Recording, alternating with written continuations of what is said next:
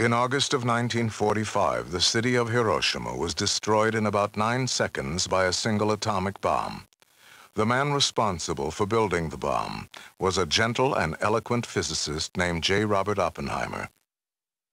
J. ロバート・オッペンハイマーはいかにして原爆を作ったのかその事実を伝えるドキュメンタリーが広島長崎の前にです You may well ask why uh, uh, people with a kind heart and hum humanist feelings, why they would uh, go and work on weapons of mass destruction.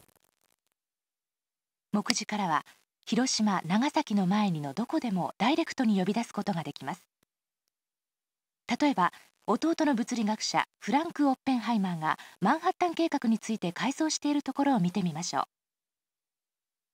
I, I was impressed because most of the sort of fervor for developing the bomb came in a kind of anti-fascist fervor against Germany.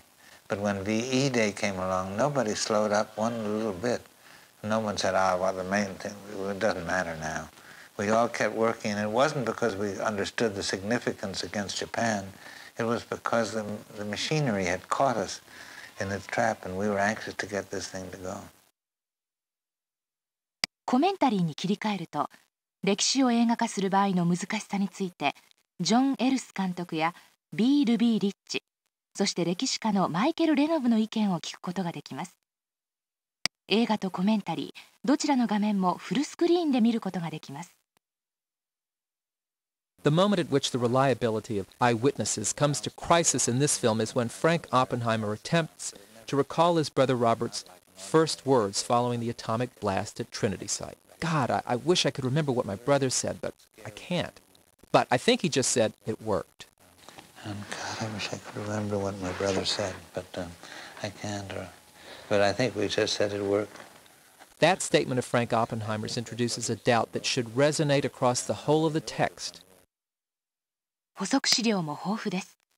用語解説で重要な言葉の意味を調べられるだけでなくフォトギャラリーでは100点を超える写真の中から原爆実験場のトリニティサイトロスアラモス研究所原爆実験などの写真をご自分の手で目の前に呼び出すことができるのです。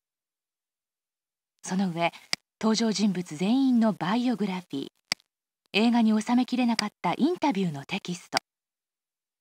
軍と FBI の資料など。人類初の原爆実験の真実の姿を浮き彫りにしていきます。